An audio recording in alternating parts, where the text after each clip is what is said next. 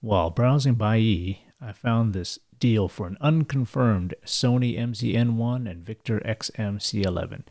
This is still one of my favorite Sony mini disc devices, and I didn't have a blue one. It's got a nice control scheme with a jog dial and multifunction lever. The open switch is a slider to prevent opening it while removing it from the dock. You'll see the dock connector at the bottom, which was required for the USB NetMD connection. Unfortunately for a flagship, these were known for write head cable failures. Here's my silver one for comparison. Both look nice, but the blue seems rarer. With unconfirmed units, you'll want to check power first.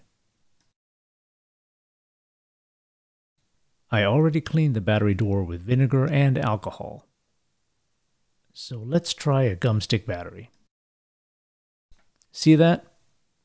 Let's try again. I thought I saw it power on.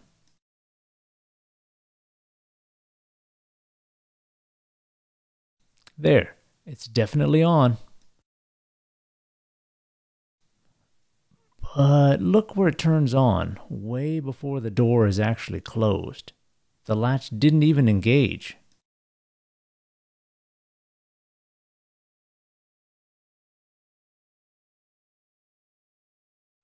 We'll go back and troubleshoot that, but if internal power doesn't work, test externally with a battery pack or AC adapter. That way, through the process of elimination, you'll know the device works, but could just need cleaning for internal battery parts. Everything's fine with the sidecar, so let's get back to troubleshooting that door.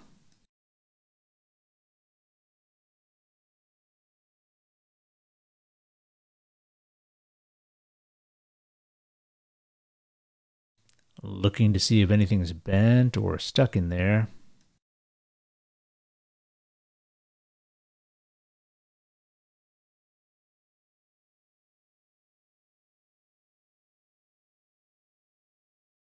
Look at that gap. The door is definitely bent.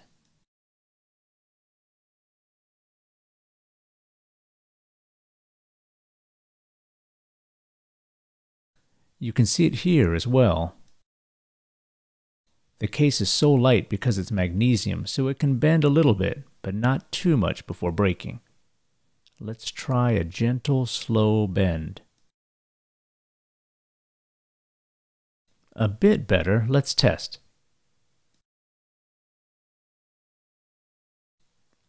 It still engages a bit early.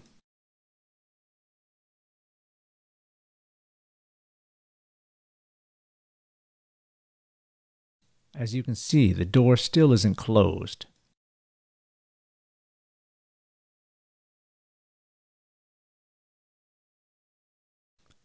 Looking again for anything bent or stuck.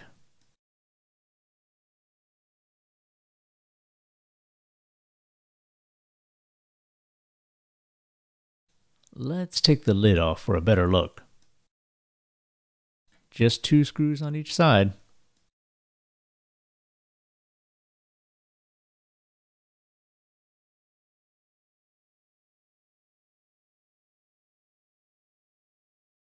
It will hinge open from the bottom. Be careful about that thin ribbon cable.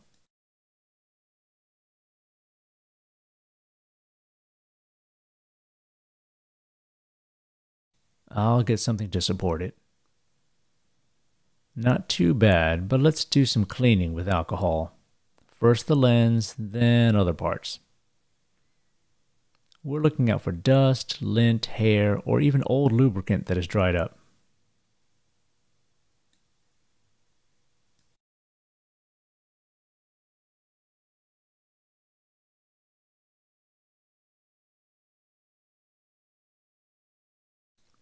Here, I'm cleaning the rail and gear shaft in case there's old lubricant or debris there.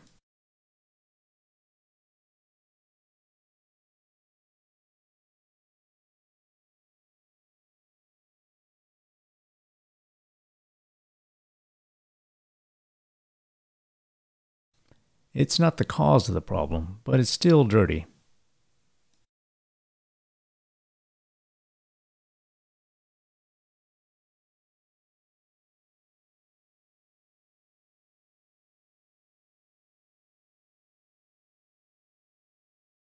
Let's close it up and test.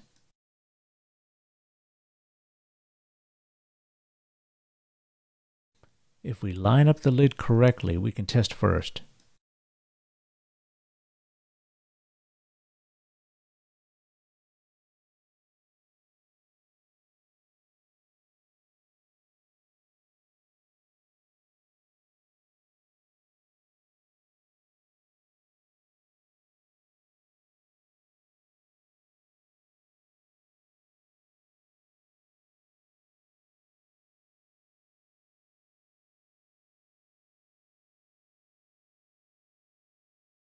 Still a bit of a gap.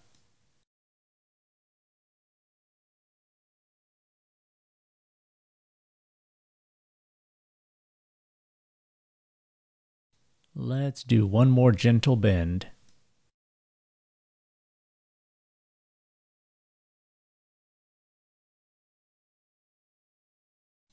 There we go. Power on right at closure. Gap is mostly gone.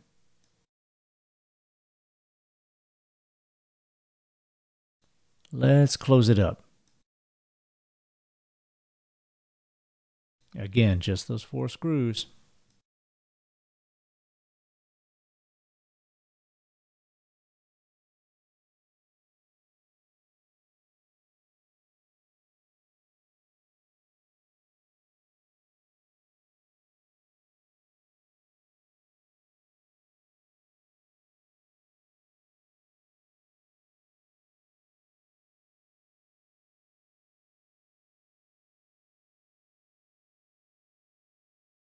Let's test with a disc.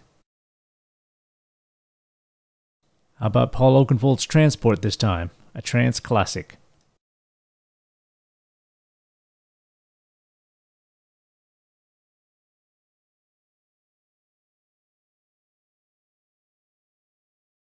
You can spin the jog dial to select a track, then push in to select.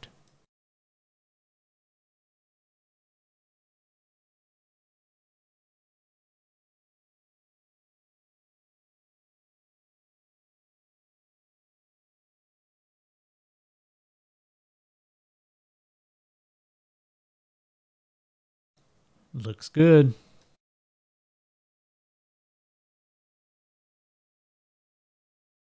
Game Master 99 by Lost Tribe, a classic.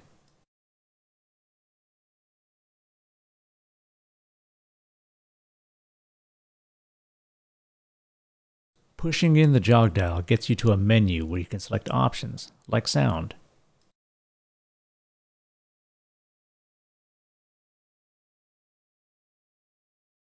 The lever lets you play, pause, stop, and forward reverse.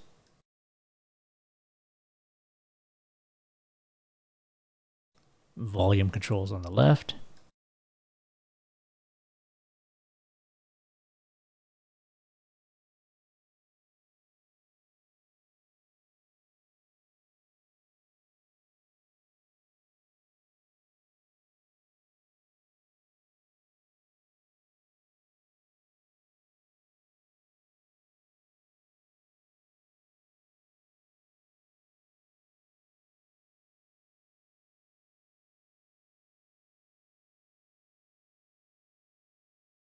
Still a small gap, but I'm okay with it since it's working properly. I later confirmed that it also records properly. You can't win them all when buying unconfirmed or junk devices, but some are easy fixes, like this one. Even if I don't fix that Victor one, this is well worth the $47.